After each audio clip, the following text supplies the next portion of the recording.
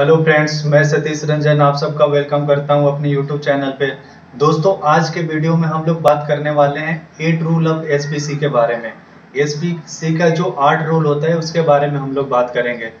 दोस्तों, इसमें हम लोग, इसको हम लोग कंट्रोल चार्ट के थ्रू समझेंगे ग्राफ के थ्रू समझेंगे और इसके जो पॉसिबल कॉज होते हैं, उसको भी हम लोग समझने वाले हैं। तो दोस्तों, मैं इसको वन बाय वन समझाऊँगा आप लोगों को। तो वीडियो को एंड तक देखना आप लोग और समझना क्या रूल होते हैं और इसके पॉसिबल कॉज कौन कौन से होते हैं, जिसकी वजह से यह वेरिएशन आती है। तो चलिए वीडियो को स्टार्ट करते हैं और देखते हैं। Like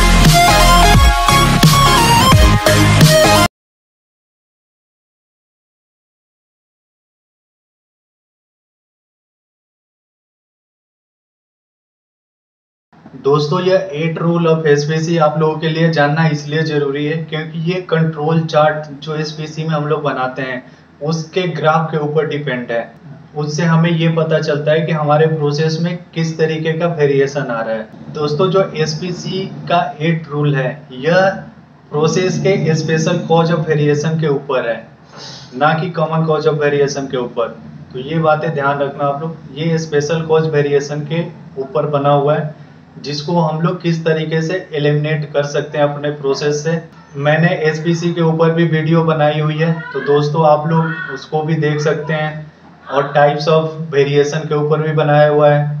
तो ये मेरे डिस्क्रिप्शन में मिल जाएगा इसका लिंक आप लोग वहाँ से भी इसको देख सकते हैं और समझ सकते हैं। यह एट रूल से हम प्रोसेस के वेरिएशन को आइडेंटिफाई कर सकते हैं एलिमिनेट कर सकते हैं और ऑपरेशन को स्मूथ बना सकते हैं। दोस्तों एट रूल को समझने के लिए हमें कंट्रोल चार्ट को समझना बहुत ज़रूरी है।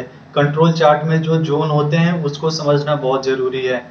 क्योंकि उस जोन के आधार पे ही ये एट रूल बने हुए हैं। तो चलिए उसको हम लोग कंट्रोल चार्ट के थ्रू समझ दोस्तों, यह हमारा कंट्रोल चार्ट है।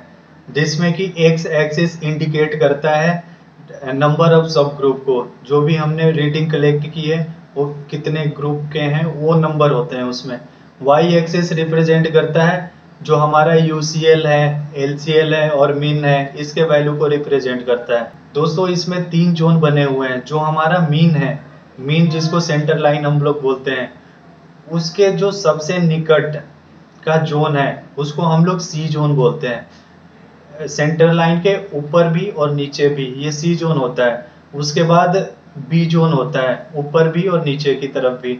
और उसके बाद जोन ए होता है, जो सबसे ऊपर होता है, जिसको कि हम लोग जो ये जोन डिवाइड किए गए हैं इनको हम लोग सिग्मा से भी इंडिकेट कर सकते हैं सिग्मा जो जोन सी होता है, उसको फ़र्स्ट सिग्मा भी बोलते हैं, जोन बी को सेकंड सिग्मा बोलते हैं, और जोन सी को थर्ड सिग्मा बोलते हैं। तो चलिए, अब हम लोग एट रूल को इस कंट्रोल चार्ट में समझते हैं। दोस्तों, जो पहला रूल है वह है वो कहता है one or more point are beyond the specification limit or more than three sigma from the centre line or mean मतलब ये कि ये कहता है कि एक या एक से ज़्यादा पॉइंट स्पेसिफिकेशन लिमिट से बाहर है। इसको हम लोग लार्ज शिफ्ट भी बोलते हैं। इसके कुछ पॉसिबल कॉज हैं। जैसे पहला है कि new operator doing the job job को न्यू ऑपरेटर कर रहा है। रॉन्ग सेटअप तीसरा ऑपरेशन स्किप्ड ऑपरेशन कंप्लीट नहीं हुआ है, चौथा पावर फेलियर तो ये है पॉसिबल कॉज है इसके, जिसकी वजह से ये आता है। इस तरीके से इसका ग्राफ है ये, इसमें देखिए देखिए आप, जो इसका एक पॉइंट है, वो स्पेसिफिकेशन लिमिट से ऊपर चला गया बाहर चला गया है। जो दूसरा रूल है, वह है seven or more consecutive point in in a row of same side of the mean मतलब कि सेवन जो सात पॉइंट आएँगे वो मीन के एक तरफ़ ही होंगे। जो जोन सी है, उसमें आएँगे, या तो नीचे आएँगे, या ऊपर की तरफ़ आएँगे। इसको हम लोग स्मॉल शिफ्ट भी बोलते हैं। इसके कुछ पॉसिबल कॉज है, उसको देखते हैं। पहले होता है रॉ मटेरियल चेंज दूसरा होता है change in work instruction different measurement device change in maintenance programme change in setup procedure ये इसका ग्राफ है दोस्तों, आप लोग देख सकते हैं कैसे डाटा प्लॉट हुआ है इसके अंदर। दोस्तों, जो तीसरा रूल होता है, वह कहता है कि seven or more consecutive point in a row steadily increasing or decreasing मतलब जो सात या उससे ज़्यादा पॉइंट है, वह एक साथ या तो ऊपर जा रहे हैं या एक साथ नीचे आ रहे हैं। इसको हम लोग ट्रेंड पैटर्न भी बोलते हैं। इसके कुछ पॉसिबल कॉज हैं। टूल का वियर आउट होना टेम्परेचर का इफ़ेक्ट कभी कूलिंग हो रही है, कभी हीटिंग हो रही है। ये इसके ग्राफ है दोस्तों, देख लीजिए, कैस किस तरीके से जो पॉइंट है वो ऊपर जा रहे हैं और नीचे आ रहे हैं। दोस्तों, जो चौथा रूल है, वह कहता है कि 14 point continuous up and down हो रहा हो। इसको हम लोग ओवर कंट्रोल भी बोलते हैं। ओवर कंट्रोल पैटर्न भी बोलते हैं। दोस्तों, ये इसका ग्राफ है। इसमें देखिए आप लोग किस तरीके से पॉइंट एक ऊपर जा रहा है, एक नीचे जा रहा है, ऊपर नीचे इस तरीके से हो रहे हैं। तो ये ओवर कंट्रोल पैटर्न के अंदर आता है। इसके कुछ पॉसिबल कॉज हैं, उसको देखते हैं। टेम्परिंग बाई ऑपरेटर ऑपरेटर के द्वारा छेड़छाड़ करना अल्टरनेटिंग रॉ मटेरियल ये हैं इसके पॉसिबल कॉज दोस्तों, जो पांचवा रूल है, वह है two out of three consecutive point in a row in zone A same side of the mean मतलब कि जो तीन में से दो पॉइंट है, वो जोन ए में है। मीन के सेम साइड में, या तो ऊपर की तरफ़ या नीचे की तरफ़। इसके कुछ पॉसिबल कॉज है। जैसे कि हमने पॉसिबल कॉज रूल वन में बात किया था सेम वही इसमें पॉसिबल कॉज अप्लाई होंगे। New person doing the job wrong setup measuring error इस तरीके के पॉसिबल कॉज आएँगे इसके अंदर भी। ये इसका ग्राफ है, इस तरीके से ग्राफ बनता है, इसको समझिए।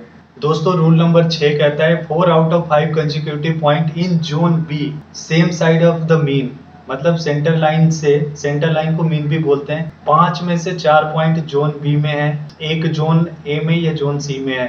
या तो मीन के ऊपर या मीन के नीचे। इसके कुछ पॉसिबल कॉज हैं। जैसे कि हमने रूल नंबर दो में बात किया था, जो पॉसिबल कॉज वही सेम पॉसिबल कॉज इसके अंदर भी आएँगे। Raw material change change in work instruction different measurement ये इसके पॉसिबल कॉज हैं।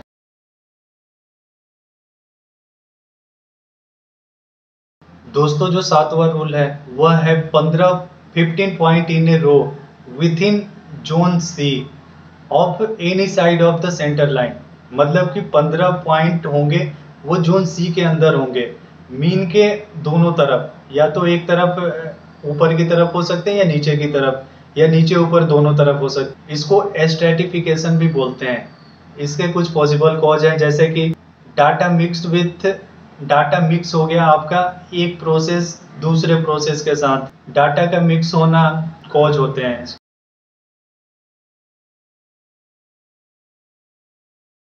जो आठवां रूल है, वह है eight consecutive point with no point in zone C मतलब कि आठ जो पॉइंट हैं, उनमें से एक भी पॉइंट जोन सी के अंदर नहीं है। या तो वो जोन बी में है या जोन ए में है। जोन सी के अंदर एक भी पॉइंट नहीं है।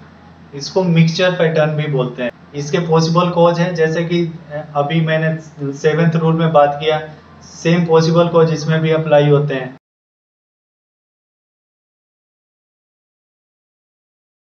तो दोस्तों, ये थे एसबीसी के एट रूल जिसको मैंने अच्छे तरीके से एक्सप्लेन किया है आप लोगों को पॉसिबल कॉज के साथ। इसको हमने समराइज भी किया है। देखिए इस तरीके से मैंने इसको समराइज किया है एक चार्ट के थ्रू